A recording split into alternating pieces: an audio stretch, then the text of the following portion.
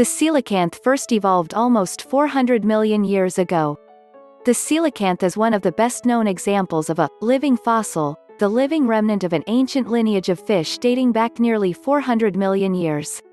Just to be clear, the term living fossil does not mean that the modern coelacanth is completely unchanged. Characteristics like color and behavior have undergone some modifications. It just means that this fish has retained the major characteristics from its ancient lineage that no longer exist in other species or became very rare over time. This species was thought to go extinct around the same time as the dinosaurs some 65 million years ago. But the discovery of this fish in 1938 by a South African museum curator caused a sensation in the scientific community. Because of its rarity, any specimen is prized for its potential value in scientific study. This creature can live up to depths of some 2,300 feet. Its vision is well adapted for seeing in this deep water environment. The coelacanth has a truly tiny brain that makes up only 1.5% of its total cranial cavity. The rest of the cranium is filled with fat. This is one of the many fishes you can catch and proudly display in your aquarium in the popular Nintendo video game series Animal Crossing. The scientific name of the entire coelacanth order, including both living species and extinct ones, is Coelacanthiformes. The name coelacanth appears to derive from a Greek word meaning a hollow spine, which is a very apt description of its physiology. Latimeria is the name of the genus for all currently living species of coelacanths. This was given by taxonomists in honor of Marjorie Courtenay Latimer, who's credited with the discovery of the fish in 1938. The coelacanth once included around 90 known species. Now there are only two living species of coelacanths left, West Indian Ocean coelacanth, Latimeria chalumnae, as it's referred to in the proper scientific form, was the first coelacanth species ever found by humans. It is characterized by blue scale, which actually turn brown after death, with white spots. This species was first discovered around the Comoros Islands between the African mainland and Madagascar, but in recent decades, other groups have also been found along the entire East African coast between Kenya and South Africa, Indonesian coelacanth, the discovery of a second species, Latimeria menadoensis, was made in 1997 off the coast of Indonesia. It has a brownish-gray color with white spots, but it is otherwise quite similar to the other species. Genetic evidence suggests it may have split off from the West Indian counterpart more than 10 million years ago. The coelacanth is an example of a lobe-finned fish.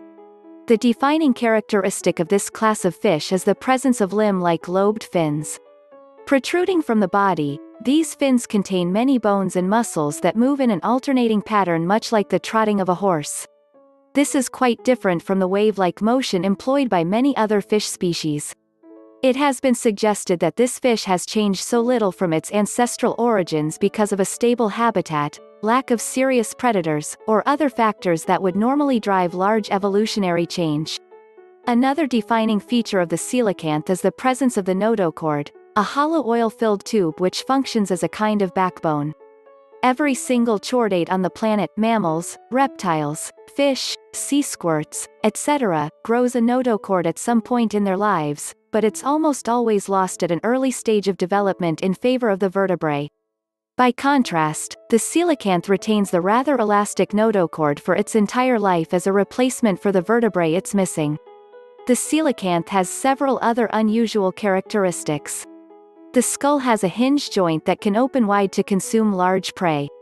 The snout contains a rostral organ, as part of a sensory system for detecting the electrical elements of its surroundings and a vestigial fat-filled lung surrounded by hard plates is believed to play a similar role to the swimming bladder by providing the coelacanth with buoyancy.